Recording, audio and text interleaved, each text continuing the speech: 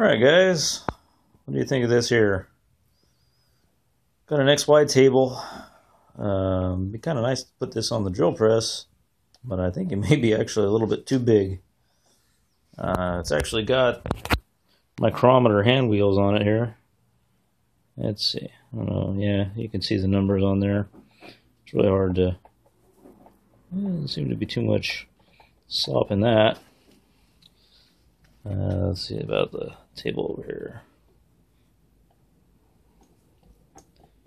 That's.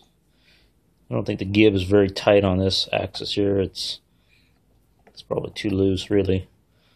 I'll check that out. Uh, it's probably. Oh, I don't know. I got a tape measure? Yeah. Let me give you the pan around here real quick, and I'll pick up my tape measure. We'll see how big this table is.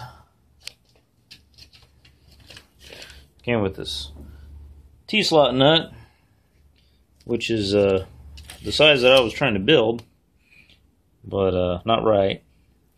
So it's uh, six and an eighth, and this way it's uh, 18 and five eighths. It's kind of an odd size.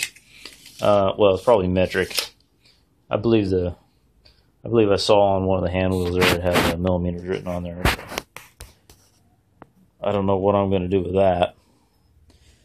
Eh, I suppose maybe I'll just clean this thing up and maybe I'll barter it away or something like that. But I got it for a good price. Hey, if anybody's got an 8 inch 3 jaw chuck, I'd trade them for that.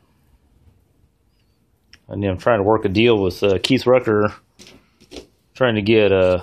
Uh, he's got a pretty nice little mill vise, which uh, we need for this puppy over here. You can't see too good probably, but anyway. All right, all. Here we go again. So uh, I'll let you go.